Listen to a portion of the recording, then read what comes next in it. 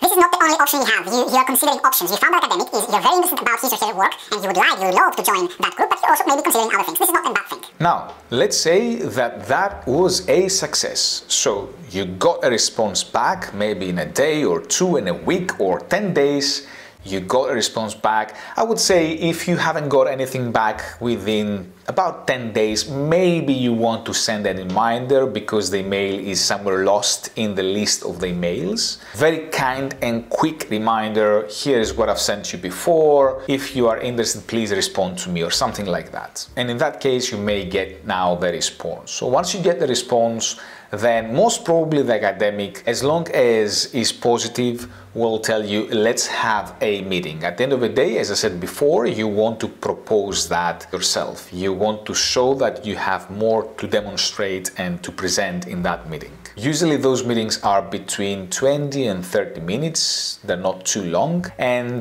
they are kind of unofficial interviews. So you may expect that the academic will ask a few questions to you, why you want to do a PhD, uh, why you are interested about our work, and why you want to join this university. I have a video with other questions and how to prepare for that interview, so you better watch that one. No matter if you are applying for a PhD or you're applying for a fellowship position, a postdoctoral position, or you want to initiate that contact so that you can work with that academic who will be the host of your postdoctoral studies, or in general you want to get in contact with academic and collaborate, it's good to prepare a presentation.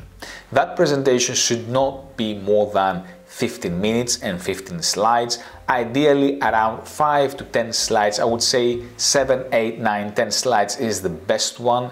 And you should include maybe one or two slides about your background the core skills core achievements some key results that you found or if you've made a patent or something really significant and really novel. And then you should present the idea in a very clear concise and constructive manner.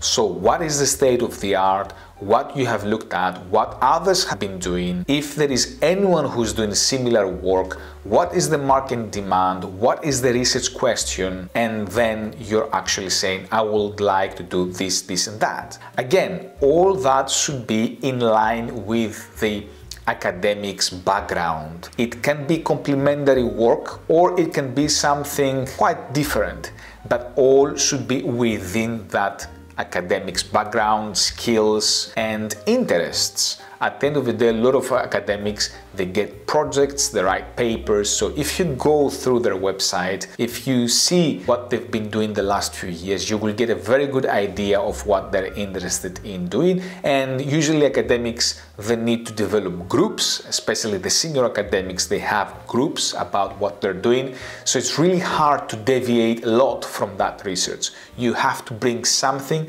that plugs very nicely. It's a new thing that plugs into their research portfolio. So if you go for something completely different, which is outside of their sphere of interest, most probably it will be a negative response. And if you do the presentation, won't be much discussion there. So it's pretty much a waste of time for both of you. Please do not do that. So that's why I said before that everything starts from the background work the homework that you need to do at the very beginning. So start with that presentation. Actually, do not wait for the academic to ask you to make a presentation. So start that meeting and say, I have prepared a presentation and that will kick off the meeting in the best possible way.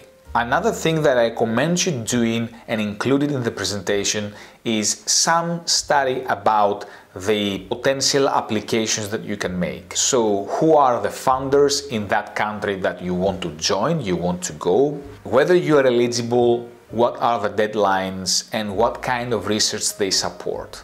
That will ease a lot the discussion. Again, is a very good sign showing that you have taken things seriously and you're planning to make an application. Also eases the whole discussion and, and you show to the academic that you can lead things yourself. So the academics are looking for people who have the skills, but also they can find information, they can lead the application writing. You are taking in charge the whole project. And that is exactly what we're looking for. People that they can take responsibilities, they can take initiatives, they can drive the whole thing and they can make it a success. And we can contribute as much as possible. Think about it, an academic does not want to educate a researcher of how to do the basics, want to contribute to the science, want to contribute in that proposal, want to bring ideas and then you process the ideas. We're not here just to teach every student, or better say, every potential researcher or researcher of how things should be to begin with. We want people that they already have some capacity. So demonstrate that you have that capacity not only by saying it, but also by doing it in making a very good presentation. Disclaimer about the presentation, no need to have fancy stuff and things moving around. This is not what we're looking for at all. We're not testing your presentation skills in terms of PowerPoint. Very last thing when you're about to close that meeting is actually to ask for next steps. So actions, who should be doing what, whether you should go and do a little bit of research about something in particular, ask for that, whether you should uh, gather some information and send another email, ask for that. That again will show that you're leading activities, you are there to take the lead and do the stuff, and of course that will expedite the whole thing. So Soon after that, a few weeks later, you will have another meeting and then another meeting, and the whole communication will be stronger and stronger up to the point where you will start developing that proposal, or there's going to be an opportunity like a funding for a scholarship for a PhD, and you will apply for it.